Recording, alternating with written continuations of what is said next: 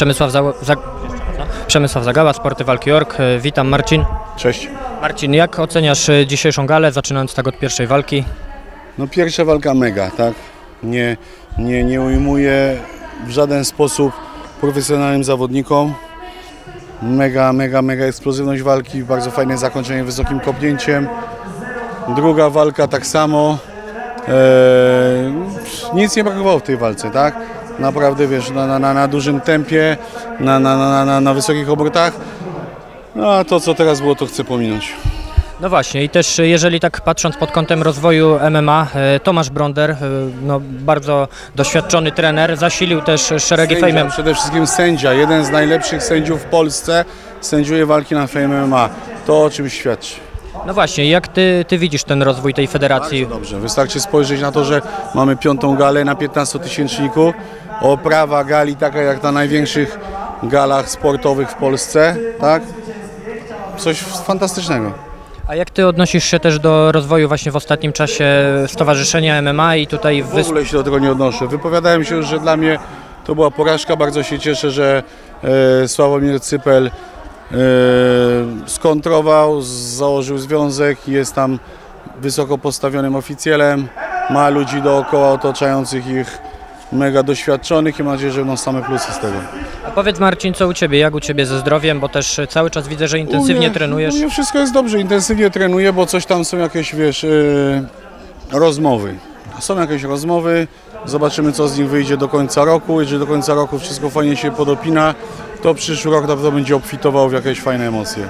Ja tak obserwuję Fame MMA od początku i też y, pamiętam, że, że byłeś tutaj zawsze obecny swoją osobą, jesteś dalej.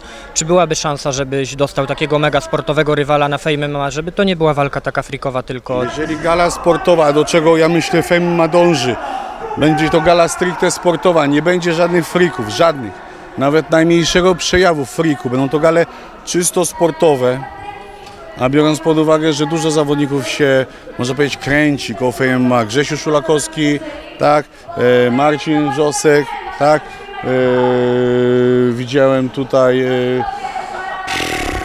Romka Szymańskiego, e, Radek Paczuski. Tak, sztab trenerski też zawodników. Także wiesz, jeżeli by z tych wszystkich zawodników, którzy kręcą się koło tej federacji, zrobić mega sportową galę, czemu nie? Czyli bardziej, żeby wyodrębnili taki, taki Nie, fame sportowy. nie bardziej, tylko tylko. Tylko i wyłącznie sport.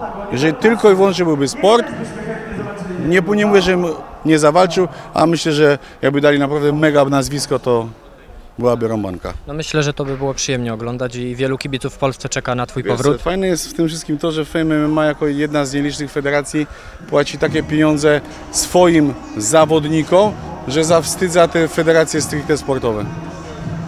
No tak, to prawda, tego nie To da. jest piękne, to jest piękne, że jest federacja, która tak szanuje w tej kwestii swoich zawodników. A powiedz jeszcze tak, y, ostatnia walka. Marcin, y, co myślisz o zestawieniu Marcina Najmana Myślę, że bonus? fajną zrobił robotę, należy mu za to bardzo duży szacunek, bo schudł 10 kilo, e, odstawił wszelkiego rodzaju głupoty, nie robi żadnych jakichś tam de, debilnych rzeczy, które, które, z których był znany. E, ma kobietę, ma dziecko, bardzo fajnie się rozwija sportowo, ale jednak myślę, że mm, jego przeciwnik ma większe doświadczenie, jest obity, więcej bił, więcej dostawał i myślę, że rzuci się w pierwszych sekundach na bonusa. No i jak bonus dostanie gdzieś jakiś mocniejszy cios, to może spanikować, aczkolwiek chciałem bardzo, żeby wygrał. Ja dziękuję za Ja również, dziękuję.